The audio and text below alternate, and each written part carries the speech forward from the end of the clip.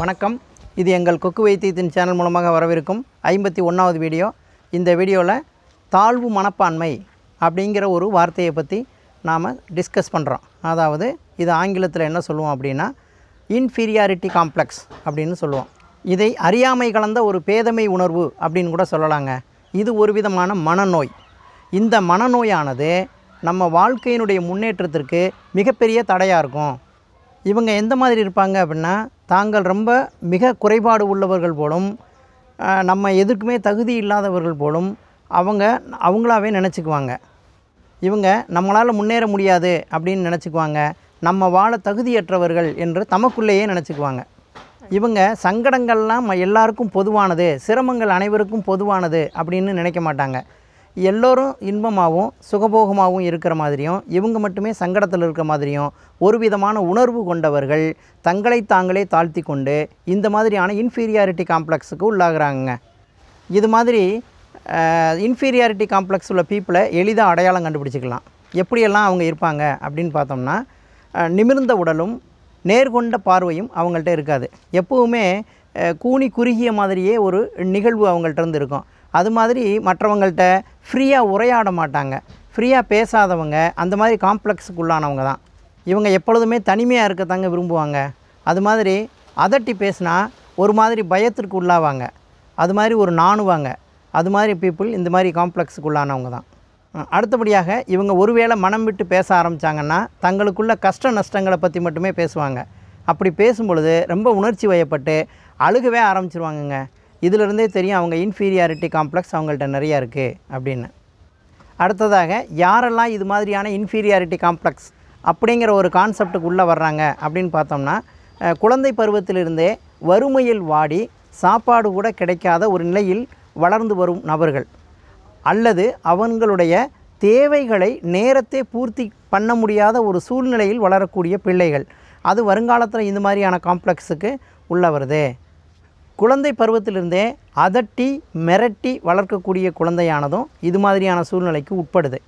அதே போல் கல்வி தகுதி கல்வி தேவையான நேரத்தில் பயிலாதவர்கள் அந்த கல்வி அறிவு இல்லாதவர்கள் அந்த மாதிரியான நிலைக்கு ஆளாகிறாங்க.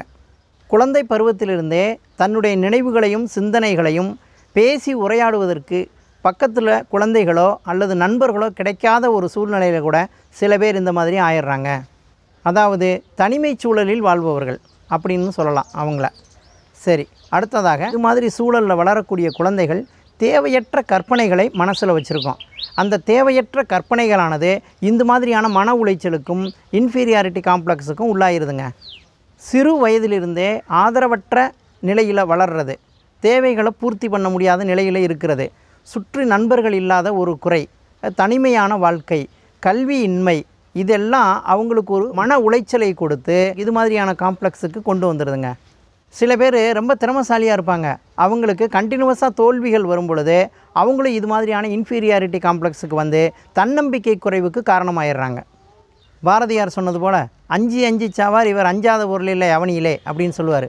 அது மாதிரி இது மாதிரி வளரக்கூடிய குழந்தை பருவத்திலிருந்தே இது மாதிரி தாக்கங்களை சந்தித்தே வளர்ந்த குழந்தைகளானது பிற்காலத்தில் எதை எதை பார்த்தாலும் பயப்படுவாங்க. நமக்கு இங்கே பேசினா குறை வந்துடுமோ நம்மளை குற்றம் சொல்லிடுவாங்களோ நம்மளை ஏசிடுவாங்களோ நம்மளை பேசிடுவாங்களோ திட்டிடுவாங்களோ ஏதாவது சொல்லிடுவாங்களோ அப்படிங்கிற ஒரு மனத்தாக்கம் இவங்களுக்கு நிறையவே இருக்குங்க. மேற்சொன்ன இதே மாதிரியான விஷயங்கள் தாங்க ஒருத்தவங்களுக்கு இன்ஃபீரியாரிட்டி காம்ப்ளெக்ஸ் உருவாகுறதுக்கு முக்கியமான காரணமாக இருக்குது. அடுத்தபடியாக நாம் இது மாதிரி காம்ப்ளெக்ஸ் உள்ள பீப்புள் அதிலிருந்து மீண்டு வர்றதுக்கு என்னென்ன வழியெல்லாம் இருக்குது அதில் அவங்க சிந்தனை பால் முதல்ல அவங்க அதை விட்டு வெளியில் வரணுங்க. அது மாதிரி சில விஷயங்களை பார்க்கலாம். முதல்ல அவங்க திறமையும் திறமை இன்மையும் தான் இந்த வாழ்க்கையினுடைய கலவை அப்படிங்கிறத புரிஞ்சுக்கணும்.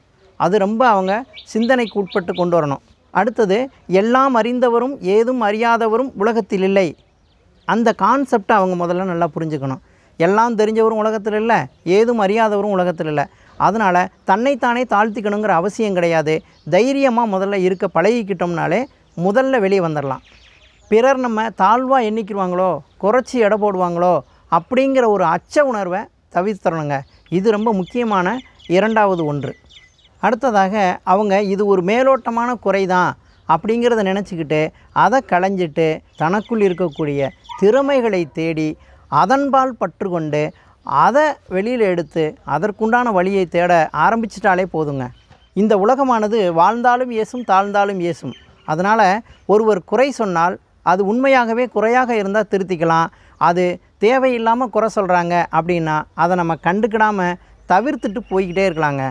அதுதான் வாழ்க்கை. இதை உள்ளுணர்வோடு கொண்டால் அந்த இன்ஃபீரியாரிட்டி காம்ப்ளெக்ஸுங்கிறது வராதுங்க. அவங்க நிறைய நண்பர்களோட பேசணும் கலந்துரையாட பழகிக்கிறணும். நிறைய விஷயங்களை தெரிஞ்சுக்கிறதுக்கு முற்படணும்.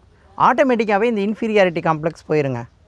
ஆக இந்த வீடியோவின் கன்க்ளூஷன் என்ன அப்படின்னா ஒருவர் தம்மை இகழ்வார் என்று நினைப்பதோ அல்லது தம்மை குற்றஞ்சொல்வார் என்று அச்சப்படுவதோ அது முதல்ல தவிர்த்தரணும் அதுதான் முதல் காரணமாக இருக்குது.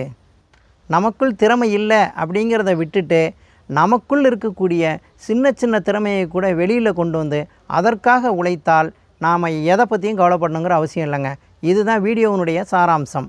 இரண்டாவதாக ஒருவர் தன்னுடைய திறமையை வெளியே எடுத்து அதை நேர்வெளியில் மேற்கொண்டு அதை சரியான திட்டமிடலோடு செயல்பட்டால் இந்த காம்ப்ளெக்ஸுங்கிற ஒன்று இருக்கவே இருக்காதுங்க. அவங்களும் யதார்த்தமான மனிதர்களோடு சேர்ந்துருவாங்க. அதில் மாற்று கருத்தில்லை நம் நோக்கமும் எடுத்துக்கொள்ளும் முயற்சியும் திட்டமிடலும் சரியாக இருந்து நமக்கு பயன் அளிக்குமேயானால் அதே சமயத்தில் மற்றவரை அது துன்புறுத்தாது என்று அறிந்தால் அந்த திட்டத்தை செயல்படுத்த நம்ம தயங்கவே தேவையில்லை. அதுக்கு காம்ப்ளெக்ஸும் தேவையில்லை. பயப்படணுங்கிற அவசியமும் இல்லை. நாம் அந்த வழியை தேடி போய்க்கிட்டே இருக்கலாம். வெற்றியே கிடைக்கும் என்பதில் ஐயமில்லை. இந்த வீடியோ பார்க்கும் நண்பர்கள் தங்களுடைய நண்பர்களுக்கும் குரூப்புக்கும் ஷேர் பண்ணுங்கள் சப்ஸ்கிரைப் பண்ணாத நண்பர்கள் எங்கள் சேனலை சப்ஸ்கிரைப் பண்ணுங்கள் அடுத்தடுத்து வரக்கூடிய வீடியோ உங்களுக்கு கண்டிப்பாக பயனுள்ளதாக இருக்கும். வணக்கம் வாழ்த்துக்கள்.